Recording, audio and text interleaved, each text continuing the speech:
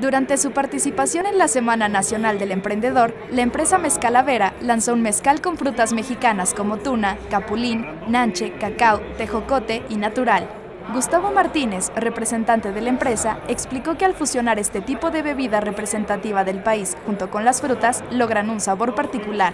Creemos que, el mezcal, aparte, bueno, el mezcal de por sí tiene un sabor único y al mezclado con estas frutas tiene unas raíces todavía mexicanas más profundas.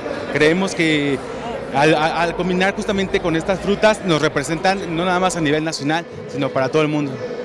De igual manera, hace tres años nació Casa Cervecera Cru Cru, luego de que tres amigos se habían establecido y acordado llegar a un solo fin, ser productores de cerveza artesanal a través de una marca fresca y con estilo. Rodrigo Rangel, uno de los creadores, aconsejó a los jóvenes luchar por los proyectos que quieren realizar. Mi recomendación es, si algo les gusta, investiguen, o sea, ser autodidacta, y de preguntarse si te quieres dedicar a eso toda tu vida, pues hacerlo.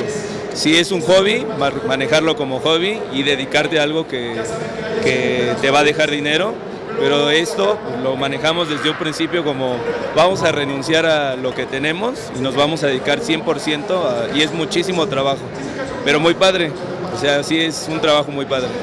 Con información de Evangelina del Toro e imágenes de José Luis Leone, Notimex.